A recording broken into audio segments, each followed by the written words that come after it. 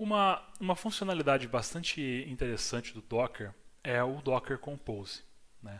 Quando nós instalamos no Mac ou no Windows o Docker Desktop, ele já vem com o Docker Compose junto. Tá?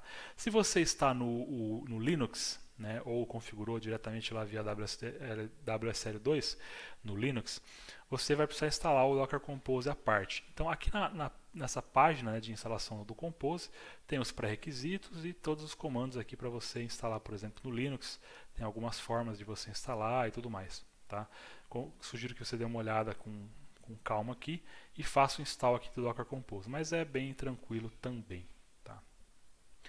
Como eu comentei no caso aqui do Windows, eu já tenho ele instalado. E o que é o Docker Compose? Ele permite que a gente crie uma receita para vários para vários containers de uma vez. Então, ao invés, por exemplo, eu tenho uma eu preciso subir um SQL, um Mongo e um Redis. Ao invés de eu dar um Docker run no, no Mongo, Docker run, não.